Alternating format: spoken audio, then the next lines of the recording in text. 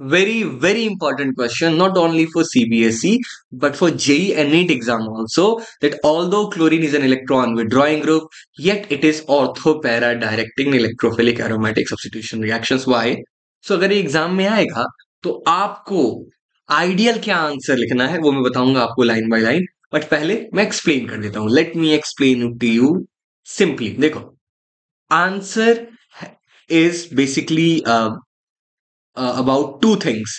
First is plus R effect. Second is minus I effect.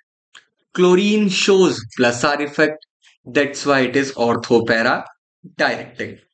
And because it is electron withdrawing, it shows minus I effect and that's why it is ring deactivating. आपके answer के अंदर ये दो terms होनी चाहिए plus R और minus I है क्या अभी एक्सप्लेन करता हूँ देखिए, ये है आपकी क्लोरोबेंजीन की रेजोनेटिंग स्ट्रक्चर्स अगर आप ध्यान से देखोगे तो in one of the structure is a negative charge at ortho position in next one this negative charge at para position and in the next one this in ortho this a negative charge at ortho position देखो, बात हो रही है electrophilic substitution की।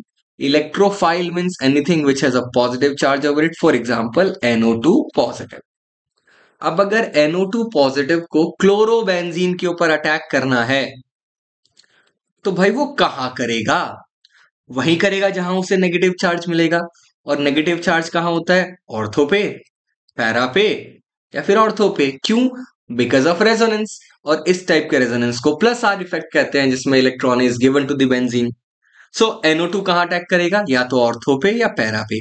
So chlorine is orthopara directing because of resonance plus R effect. Okay.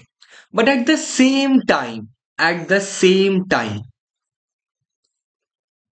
chlorine जो है ना वो एक रिंग डीएक्टिवेटिंग है इलेक्ट्रोनेगेटिव है वो क्या करेगा बीइंग एन इलेक्ट्रोनेगेटिव एटम वो बेंजीन के इलेक्ट्रॉन छीन लेगा बेंजीन के ऊपर से इलेक्ट्रॉन छीन लेगा तो क्लोरीन पे पार्शियल नेगेटिव चार्ज और हमारे बेंजीन पे पार्शियल पॉजिटिव चार्ज अब आप देख सकते हो, एक तरफ़ तो क्लोरीन रेजोनेंस की वजह से बेंजीन की इलेक्ट्रॉन डेंसिटी इंक्रीज कर रहा है, दूसरी तरफ़ वो माइनस आई इफ़ेक्ट की वजह से वो बेंजीन के ऊपर की रिएक्टिविटी डिक्रीज कर रहा है। तो दोनों अपोजिट हो गई, लेकिन inductive effect dominates over resonance effect so chlorine benzene की इलेक्ट्रॉन डेंसिटी कम करके उसकी रिएक्टिविटी कम कर देता है। ठीक है? इसलिए वो कैसा है? रिंग डीएक्टिवेटिंग ठीक? बढ़िया। लेकिन on the other hand because of resonance वो कुछ इलेक्ट्रॉन बेंजीन को वापस भी कर देता है। कहाँ करता है? सिर्फ़ ऑर्थो और पैरा पोजिशन पे। तो ओवरऑल बेंजीन की रिएक्टिविटी कम हो गई क्लोरीन की वजह से। बेंजीन के इलेक्ट्रॉन क्लोरीन ने छीन लिए, उसको डीएक्टिवेट कर दिया क्लोरोबेंजीन की रिएक्टिविटी कम हो गई। लेकिन ऑन दी अदर हैंड उसने उसको थोड़ा सा कंपनशेट कर दिया because of plus R effect but only at ortho and para position I hope it was clear to you line by line ये है इसका आंसर रीड कर लीजिएगा, यही एग्ज़ाम में आपको लिखना होगा. जो अभी तक मैंने समझाया है, वही है यहाँ पे.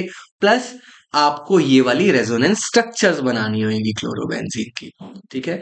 I hope it was clear to you if not you can always ask in the comment section don't forget to subscribe the channel and hit the bell icon because अभी बहुत सारी वीडियोस आएँगी भी और ऑलरेडी इस channel पे present भी हैं। Thanks for watching